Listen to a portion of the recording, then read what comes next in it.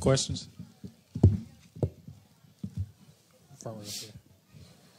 Dave.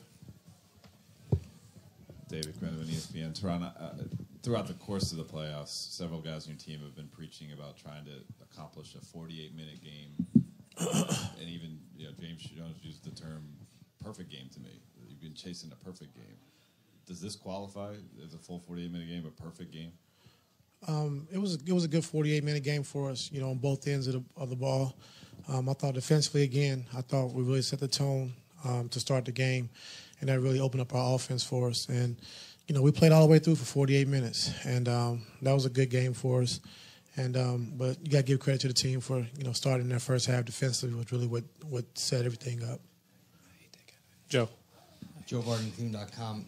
Ty, after a night like tonight, I, I hate to ask about worry, but in a game that's so non-competitive so early, do you worry about your guys getting hurt? Do you worry about guys losing focus and you know just just getting off course? You know when, when things are, are that lopsided. No, I mean it's one game. I don't care if you win by 200 points. It's one game, and we know this team is, you know, a very scrappy team. They play hard, they compete, and um, you know we made shots tonight, and uh, we had a good, you know, defensive effort. But, you know, they're greatly coached. We know that, and you guys all know that. So I mean, you know, we're going back home. We're not going to get comfortable. You know, we understand that this is a good team. They're not number one in the East for no reason. You know, so you know tonight was one of those nights, and um, that's it. We won, but we got to move on. We got to get focused for Game Three. Back left. Hi, Tom. This is Jewel. Um, you've seen LeBron. LeBron's had a ton of really, really amazing games in this building, uh, but this one was effective, efficient, uh, and he was doing, a, and he just did so many different things. Can you describe it anyway? The level he's playing at right now. Um, we've been having this talk for a long time now, but he's playing at an unbelievable level, and um, he's really setting the tone for us early in the games. And you know, we're getting stops defensively and we're we're guarding the way we've been guarding, um, he's able to get out in transition and get to the basket. And you know, when he's making his three point shot, I mean, you're in for a long night. So. Um, he's been really setting the tone for us, and we've really been riding him. And then, you know, first game, K-Love was great. He was good again tonight. You know, Kyrie, you know, shot the ball, you know, great tonight, 8 for 11, 23 points.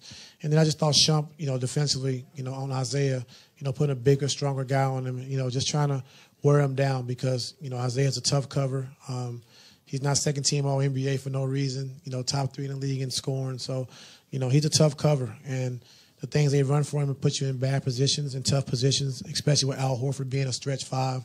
So, you know, that's why I'm pleased most of all, just our defense and, you know, how we just kept reacting and kept moving and kept scrambling. Chris. Ty, Chris Fedor, Cleveland.com. You mentioned Kyrie in the first quarter. All four of his made baskets were in the paint. When he's getting into the paint like that for your offense, how does that open things up and maybe even change what Boston was trying to do? Well, when he's getting into the paint, you know, we have shooting on the floor, you know, it's tough. You know, you got to pick your poison. And, you know, tonight, you know, we made 19 threes. And, you know, we get into the paint, you know, either Kyrie and Bron can finish or they kick out for three. So, um, you know, we're shooting the ball well, it's a tough dilemma, you know. So it was just, it was good seeing him aggressive early and playing with that pace. You know, I thought he played with a, with a great pace, you know, to start the game. Go ahead, Jason. Jason Lloyd, The Athletic you had some hard decisions to make late in the regular season about if you're going to chase seeding or if you're going to rest guys, and you obviously chose to rest guys. To do what you did in these two games, does that give you any sense of indication or anything that obviously you made the right decision when you could have gone the other way and tried to chase the seeding? Um, not really. You know, like I said, it's, it's only two games. You know, the series is not over. Um, but you know, for me, I just wanted to make sure we were healthy and we could start the playoffs healthy and I knew that I knew if we did that we would have a good chance of you know being pretty good. So um, give us rest and health, and then we got to figure it out from there. But you know, to be a championship team, you got to win on the road anyway. And the last two finals we've been to, we had to start off on the road because you know out west the way they're playing um, is tough. So either way it goes, if you're going to win, you're going to be a championship team. You have to win on the road. So you know, we just kind of just chose health and rest, you know, over everything else. Marla. Marla Ridenour, Akron Beacon Journal. Um, was there ever a point where you were almost incredulous that this is the conference finals and it's not supposed to be that easy, I guess? Or? No, I mean, it was just one game, you know, and they had a rough night, you know, scoring the basketball, and we played, you know, we put together a, a, a full game. And, um, defensively and offensively, and it was just one of those games. And um, you can't bank on that every single night. And it just, you know, they had a tough night shooting the basketball, which is not going to happen every single night. So um, it's one game, it's over. We got to move on, and we got to stay focused for game three. Ty, uh, shortly before tip off, the NBA released the finalists for the regular season awards, and including in it was the top three for MVP, and LeBron was not included. I wanted He wasn't on the list, you said? he was not included in the top three.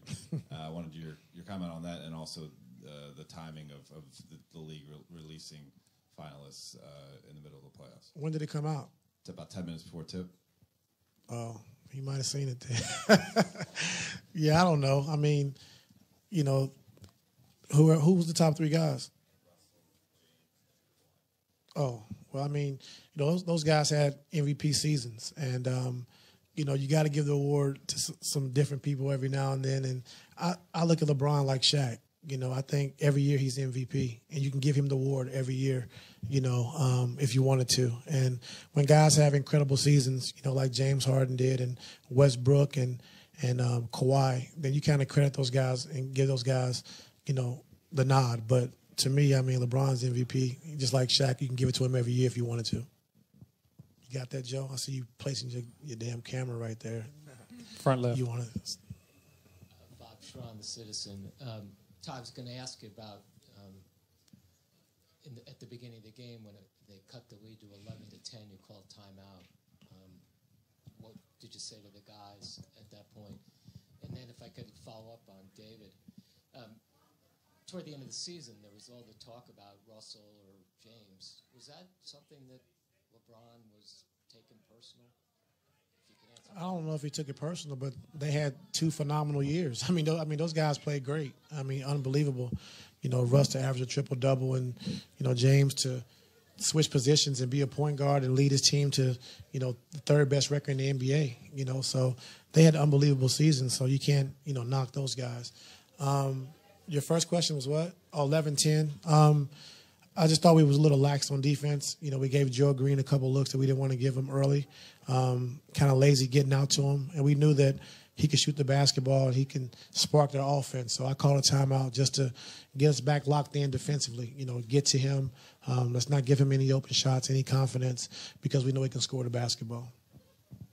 Uh, Philip O'Connor, the Reuters news agency. Uh, we've spoken a lot about LeBron's offense here this evening, but he had, I think, four steals and three blocks in the game. What does he bring to your team defensively apart from that?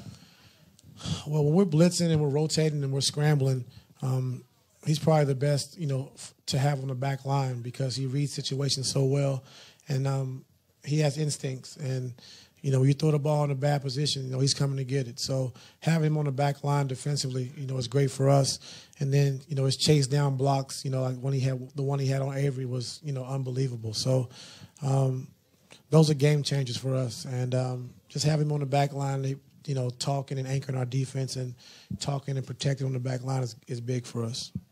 Middle. Matt Medley, BTH. Uh, you know, what can you say about the defensive job you guys have done on Horford? You know, obviously Tristan is responsible for a lot of that, and he's been on him in a few playoff series the past few years. But the way you guys have been able to limit Horford in these first two games, uh, just what can you say about that? Well, I just think you know Tristan is just so versatile, and you know he can show, he can blitz, he can switch, and you know with Horford, you know he was shooting 58% from three coming into the playoffs, and that's because a lot of fives were guarding him, they were dropping and couldn't get back to him. So we just wanted to give him a different look because we know he's a dangerous player and. Um, he's a key to their offense. They run a lot of offense through him at the top of the key. Um, when he's picking and popping and making shots, they're dangerous. So we just wanted to give him a different look. And um, Tristan's been doing a good job of you know showing on Isaiah and getting back to him, and you know trying to make him put the ball on the floor. So just trying to mix it up and just keep him off balance. Gary. So, hi, Gary Washburn, Boston Globe. Um, you walk in at halftime. What do you say to your guys after a half like that? What do you say after the game? Well, before the game, I mean at halftime, just you know keep our composure. You know play the play the game the right way, and um, you know don't be satisfied. You know we're doing something and looking for something